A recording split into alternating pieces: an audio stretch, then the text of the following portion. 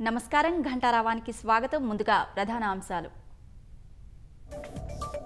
భూముల మార్కెట్ విలువలు పెంచుతూ సర్కారు ఉత్తర్వులు. ఈ నెల ఇరవై రెండు నుంచి అమలుకు సీఎస్ సోమేష్ కుమార్ ఆదేశాలు.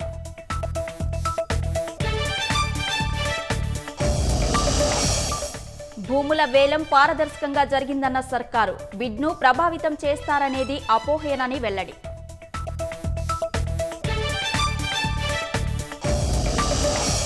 హుజూరాబాద్ ఉప ఎన్నిక కోసమే దళిత బంధు. రాష్ట్రమంతా పథకం అమలు చేయాలన్న భట్టి.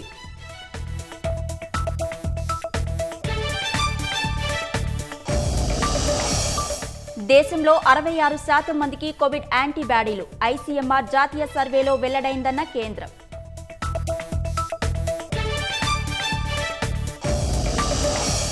రెండో దశలో ఆక్సిజన్ కొరతతో ఎవరూ ప్రాణాలు కోల్పోలేదు. రాజ్యసభలో కేంద్ర మంత్రి లిఖితపూర్వక సమాధానం.